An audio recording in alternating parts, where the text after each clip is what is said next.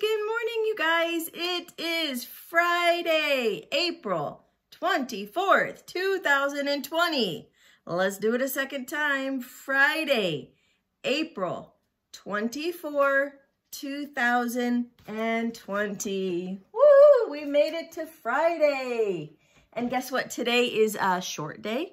Uh, and so um, your assignments are a little bit different today. They're not our normal assignments. Uh, I want to make Fridays a little bit different or have tried to make Fridays a little bit different. So um, I found this great um, website. It's a learning website and it's called uh, Freckle. And it's a little bit like iReady, but a, a little different too. So you're going to do um, one ELA, which is the same as reading, right? ELA is just um, a nickname for reading.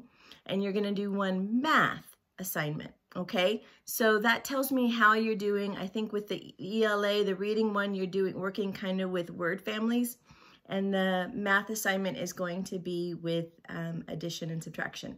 So um, it should be, I wanna know what you think of it.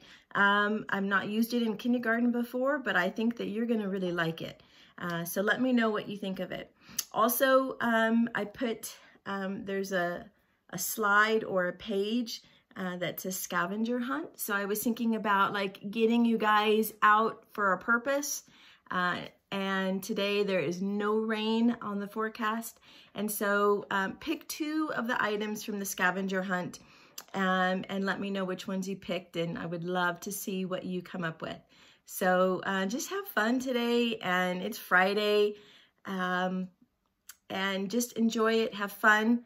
Uh, I hope you guys have um, some fun plans for the day, for the weekend. It's going to be super warm, uh, super nice. Definitely the weather that we have earned. We have earned this weather. This being inside all the time, and we have earned this weather. So uh, get outside and enjoy it.